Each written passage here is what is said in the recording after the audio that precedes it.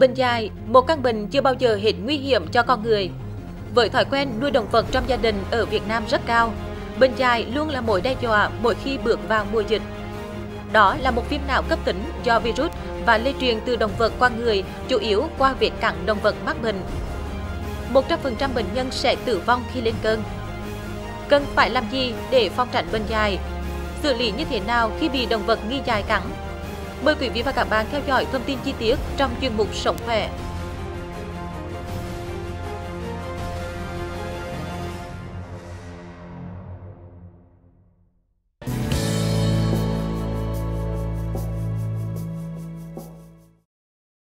Từ đầu mùa hè, công tác phòng dài đã được Chi cục Thú y Thừa Thiên Huế triển khai đồng bộ trên toàn địa bàn.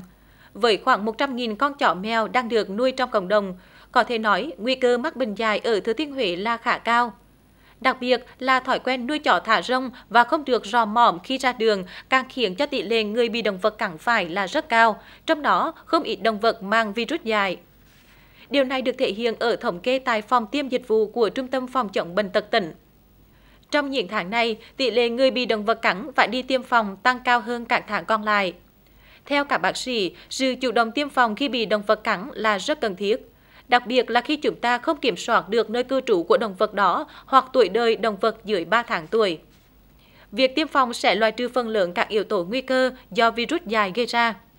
Cần lưu ý rằng những vaccine phòng bệnh dài được sử dụng ngày nay hoàn toàn không ảnh hưởng đến hệ thần kinh cũng như sức khỏe người tiêm phòng như những loại vaccine trước đây. Thậm chí, phụ nữ có thai và trẻ em có thể sử dụng được vaccine bình thường nhưng cần làm theo chỉ định của bác sĩ và được theo dõi sát sao. Tiêm phòng vaccine bệnh dại là biện pháp duy nhất cứu người bị chó dại cắn. Virus dại xâm nhập vào hệ thần kinh của động vật có vú và chủ yếu được lây truyền từ nước bọt của các loài động vật bị dại sang người qua vết cắn hoặc qua vết trầy xước trên cơ thể con người. Bệnh dại cũng có thể lây truyền sang người khi động vật bị dại liếm vào vết thương hoặc tiếp xúc vào chỗ da bị trầy xước hoặc lớp niêm mạc miệng, mũi của người. Hơn 90% các trường hợp gây bệnh dại ở người tại Việt Nam là do chó cắn, số còn lại chủ yếu là do mèo nuôi. Sau khi xâm nhập vào cơ thể người, virus dài phát triển từ lớp trong cùng của môi dưới da, tiến vào các dây thần kinh ngoài biên, tới tủy sống và não bộ. Người bị nhiễm bệnh có những thay đổi hành vi và có những biểu hiện lâm sàng khi virus bắt đầu xâm nhập vào não bộ. Thời gian ủ bệnh có thể từ vài ngày đến vài tháng và có thể dài tới một năm.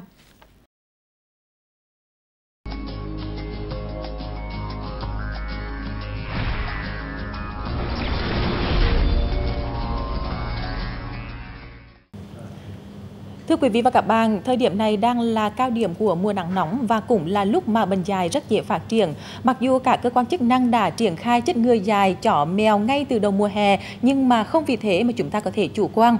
Hiện tại tỷ lệ nuôi chó mèo trong cộng đồng dân cư là khá cao và việc kiểm soát cũng rất là khó khăn. Chính vì vậy mà cần phải trang bị những kiến thức cần thiết để ờ, phòng ngừa bệnh dài trong mùa cao điểm này.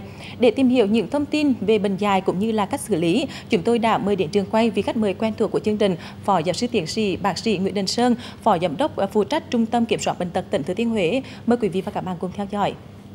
Vâng, trước hết xin cảm ơn bác sĩ Nguyễn Đình Sơn đã tham gia chương trình. Thưa bác sĩ, qua theo dõi việc ờ, tiêm phòng ở trung tâm thì bác sĩ có đánh giá như thế nào về tình hình bệnh dài hiện nay trên địa bàn toàn tỉnh ạ? Vâng. À, theo báo cáo của Tổ chức Y tế Thế giới thì có 150 quốc gia vùng lãnh thổ là có lưu hành bệnh dài và hàng năm như vậy có đến gần 60.000 trường hợp À, tử vong do bệnh dạy. Ở Việt Nam chúng ta theo báo cáo của Cục Y tế Dự phòng Bộ Y tế hàng năm thì chúng ta đều có trên 100 trường hợp à, tử vong do bệnh dạy. Và cái bệnh dạy thì nó tập trung ở vùng Đông Nam Á và tất cả người lớn trẻ con đều có thể mắc bệnh dạy. Riêng tại Thừa Thiên Huế thì trong một thời gian dài chúng ta cùng triển khai uh, tiêm phòng cho chó ở ngành thú y và chúng ta triển khai tiêm phòng cho người thì tình hình bệnh dại ở tại Thiên Huế trong nhiều năm không có trường hợp nào tử vong ờ, xảy ra. Thưa bác sĩ, là y học đã khẳng định rằng là đối với những bệnh nhân mà bị nhiễm virus rabies tức là uh, virus gây bệnh dại thì khi mà lên cơn tỷ lệ tử vong là 100%. Tuy nhiên không ít người vẫn cảm thấy là rất là chủ quan với bệnh này. Vậy thì bác sĩ có thể cho biết rõ hơn là mức độ nguy hiểm của bệnh dại là như thế nào ạ? À, bệnh dại thì nó lưu truyền rất nhiều động vật, 98% à, tất cả những trường hợp bệnh dại thì là do chó cắn. Ờ, hai phần trăm còn lại thì có thể là do à, mèo hoặc là ngay cả bò trâu và những động vật hoang dại kể cả dơi đều có thể truyền được bệnh dại thứ hai là bệnh dại thì khi mà à, chúng ta bị nhiễm và chúng ta không tiêm phòng ngay và không dùng huyết thanh ngay thì virus dại nó thể tranh chấp vào các cái hệ thống thần kinh và từ đó nó gây cho vấn đề bệnh nhân bị liệt và tử vong à, vì vậy cho nên là trong quá trình để đảm bảo về phòng chống bệnh dạy thì khi chúng ta bị súc vật cắn thì chúng ta phải đến các cơ sở y tế để được tư vấn được hướng dẫn. Và tùy theo từng trường hợp một để chúng ta có những chỉ định theo dõi hoặc là tiêm phòng. À, trong dân gian thì có lưu truyền rằng là nếu như mà bị ờ, chó mèo hay là các loài động vật khác ờ, cắn thì chưa cần phải là đi chích ngừa mà trước hết là cần phải theo dõi xem là con vật đó nó có phát bệnh hay không. Như vậy thì có đúng hay không ạ thưa bác sĩ? À, theo hướng dẫn của tổ chức y tế thế giới thì người ta chia ra nhiều mức độ. Thứ nhất là nếu khi chúng ta bị chó hoặc mèo mà liếm vào da lành thì chúng ta không tiêm phòng trường hợp thứ hai nếu mà nó đã liếm vào các cái da mà chúng ta có bị tay xước hoặc nó cắn vào da chúng ta thì chúng ta phải thực hiện ngay cái công tác tiêm phòng. Ờ, trường hợp thứ ba là nếu nó cắn vào các hệ thống gân thần kinh trung ương thì ngoài tiêm vaccine chúng ta phải tiêm cả kháng huyết thanh để đảm bảo uh, phòng về cho người dân. Như vậy cái việc mà uh, lý giải vì sao chúng ta theo dõi chó ờ, uh, 10 ngày tại vì trong quá trình à, từ khi mà chó nó bị bệnh dài và đến thời gian nó à, toàn phát tức là khi nó trở thành dài thì nó chỉ sống được 7 đến 10 ngày. À, vì vậy cho nên khi chúng ta bị một động vật à, chó hoặc mèo nó cắn ta mà nếu chúng ta kiểm soát được kiểm soát được tức là cái động vật đó do chúng ta nuôi hoặc là của người hàng xóm và động vật đó đã được tiêm phòng thì chúng ta phải theo dõi trong 10 ngày. Nếu trong 10 ngày đó mà con chó nó vẫn sống bình thường thì chúng ta không đi tiêm chủng trường hợp thứ hai là nếu chó nó cắn ta nhưng mà gần thần kinh trung ương thì chúng ta không theo dõi 10 ngày nữa mà chúng ta buộc phải tiêm vaccine ngay tại vì quá trình nó virus nó di chuyển rất nhanh và chúng ta cũng sẽ không thể kịp để phòng vệ cho người dân. Ờ, bác sĩ có thể là hướng dẫn ờ, cụ thể hơn về cái quy trình xử lý khi mà bị chó mèo hay là các loài động vật khác cắn ạ? Vâng. Ờ, khi mà chúng ta bị chó hoặc mèo cắn thì ngay trong cái nước bọt và trong cái răng của động vật thì rất, rất là bẩn. Cho nên chúng ta phải thực hiện các cái động tác về rửa ở dưới vòi nước sạch và bằng xà phòng tránh dùng tất cả các loại xăng hoặc là các cái loại dầu vì nó sẽ gây ngộ độc à, thần kinh của chúng ta.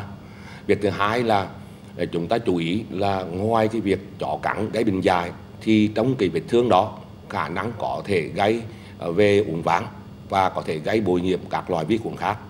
À, cho nên trong quá trình chăm sóc vết thương của người chó cắn thì chúng ta ngoài cái việc mà rửa bằng nước sạch xà phòng thì chúng ta phải đến các cơ sở y tế để được tiêm phòng à, vaccine tiêm phòng vaccine dài tiêm phòng vaccine vùng ván và kể cả uh, chỉ định cái vấn đề nếu vết thương lớn uh, gây bội nhiễm thì chúng ta phải dùng kháng sinh thì chúng ta phải đảm bảo được cái cái cái sức khỏe cho mình và một vấn đề nữa thưa bác sĩ là việc mà tiêm vaccine cho người sẽ được tiến hành như thế nào và loài vaccine này nó có ảnh hưởng đến cơ thể của chúng ta hay không ạ?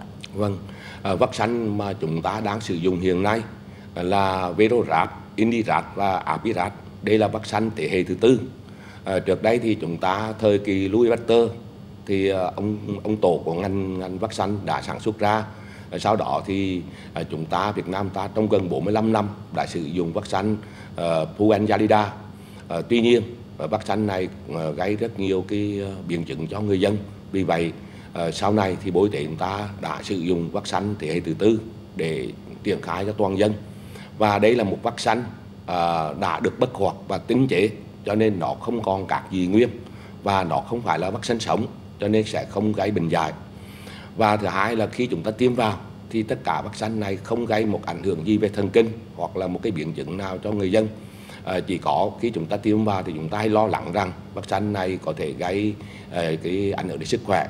Tuy nhiên à, hầu như tất cả mọi cái trường hợp thì không có một cái biến chứng nào à, đối với cái người tiêm phòng.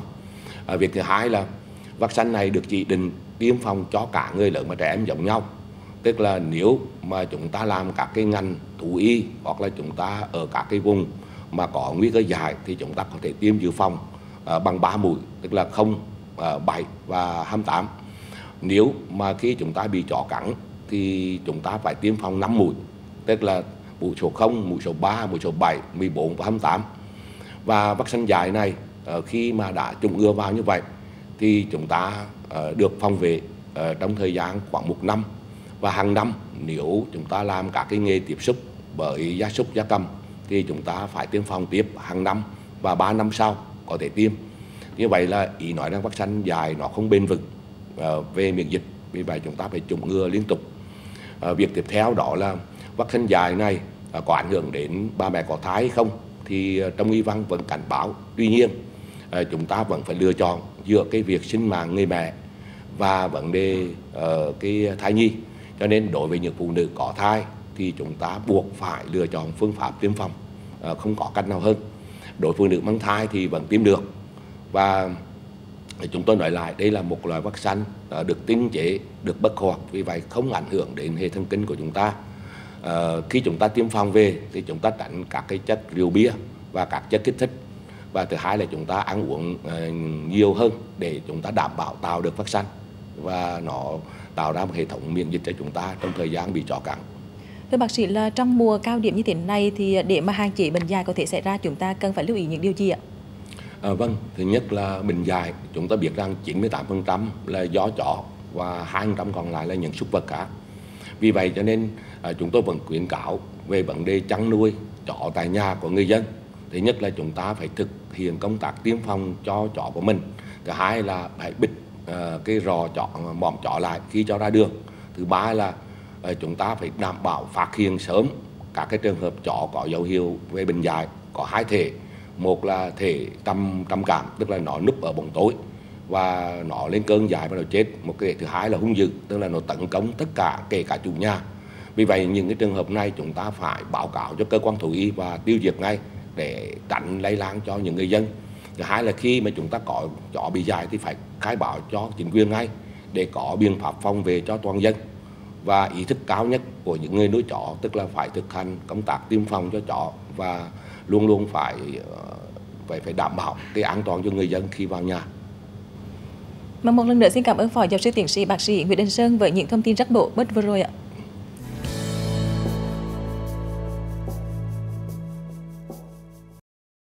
Khi bị chó mèo nghi dài cắn, vết thương cần được rửa ngay với xà phòng và dưới vòi nước chảy liên tục trong thời gian khoảng 10 đến 15 phút. Nếu không có xà phòng, có thể rửa ngay vết thương bằng nước sạch dưới vòi nước chảy liên tục 15 phút. Đây là phương pháp sơ cứu hiệu quả nhất để chống lại bệnh dại.